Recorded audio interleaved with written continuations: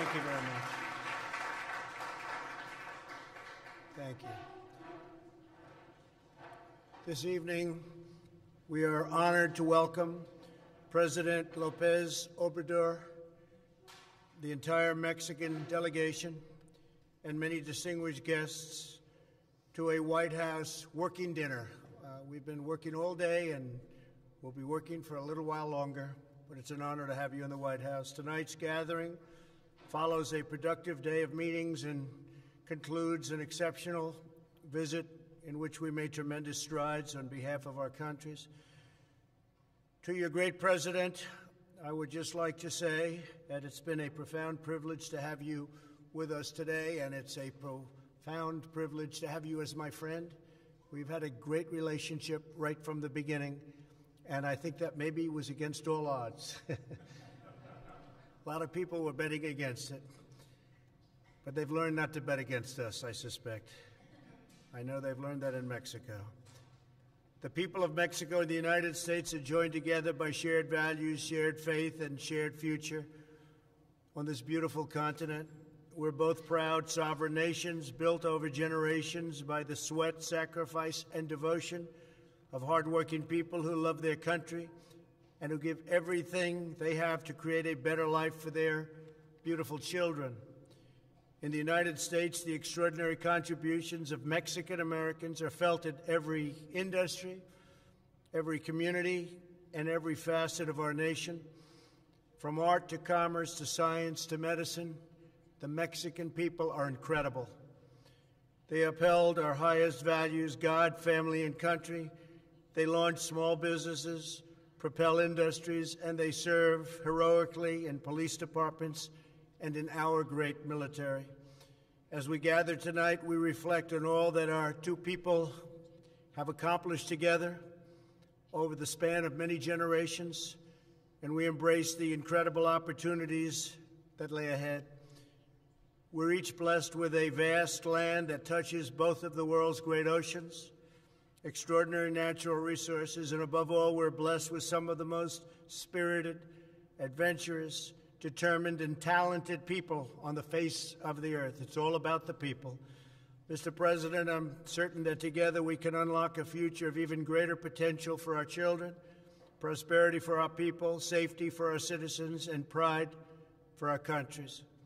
With today's visit, I've never been more confident that the future of this precious relationship and the destiny of this majestic continent will never be in better hands and never had a better future.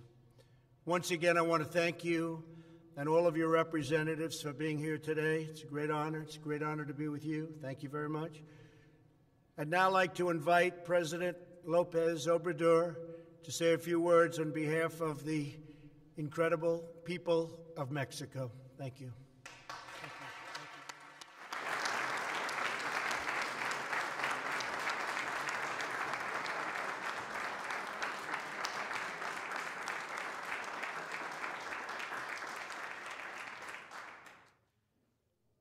Amigas, amigos, Friends, Podría- ladies and gentlemen, eh, ser breve. I am going to be Se dice que People say that bueno y breve, good and brief, doblemente bueno. twice as good. Podría solo decir I could only say que that suscribo I subscribe lo dicho, everything said, lo expuesto everything presidente mentioned by President Donald Trump. Somos We are countries, somos pueblos, we are peoples, vecinos, neighbors, hermanos, brothers and sisters. queremos mantener We want to maintain good relationship. en lo económico, en lo comercial, The economic, trade, social, en lo commercial cultural. level, socially and culturally as well. Y ese es el propósito And that's the purpose de esta of visita, uh, this visit. que como lo dimos a conocer al As we've mediodía, already said es eh, earlier today, el comienzo this is the de beginning una etapa nueva. of a new stage. Hemos eh, firmado We have un signed nuevo tratado a new agreement free trade agreement, yes, among Canada, the United States, and Mexico. y con este And with this new agreement, se va a we are going to strengthen the economy of our region. North America.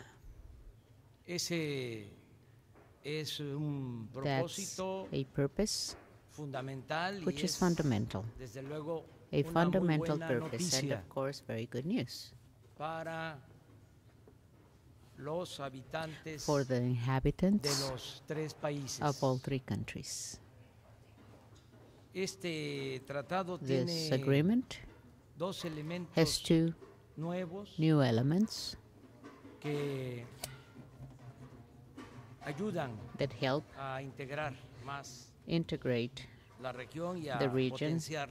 and to potentiate eh, the region. First of all, it sets forth que las mercancías that merchandise se produzcan en produced in our region, en América del Norte, in North America, eh, should uh, have a high regional. regional content. Es decir, That is, eh, aunque se trate even though de autopartes, uh, we're talking about auto parts, for instance, trate de if it's uh, really eh, any type of uh, consumo, uh, consumer good or product, it does have to have something produced in Canada, Mexico, en Estados Unidos. and the United States. El otro elemento The other que considero element fundamental that I y de believe justicia fundamental and of great justice is guaranteeing mejores salarios, better salaries, better labor conditions para los trabajadores for workers de los eh, tres países. of all three countries. Esto no se contemplaba This was not included el anterior tratado. In the previous Por agreement. eso nos da That's mucho why gusto we are just so eh, happy estar aquí to be here Blanca in the White House en este acto, in esta this event, in the ceremony. y And eh, vengo también I also come here eh, a esta cena to this dinner la que me ha invitado I was mi amigo, el invited to by my friend Donald Trump, President Donald Trump, de accompanied by businessmen from Mexico, de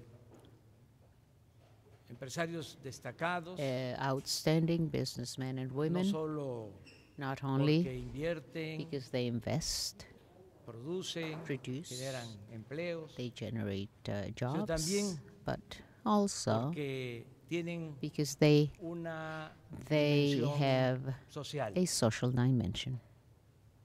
Están pensando They are thinking no not only en la acumulación de about ingresos, accumulating revenues and profits, but also nos vaya bien a for todos, things to go well for all of us, que le vaya bien for all of us to do fine, for our people to also do well.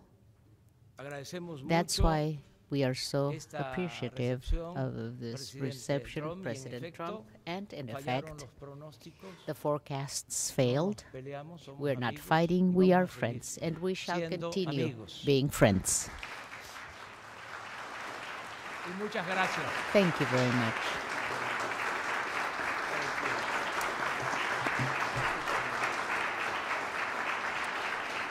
Thank you very much, everybody. Thank you very much. Mr. President, Dr. Birx says we don't know how COVID impacts children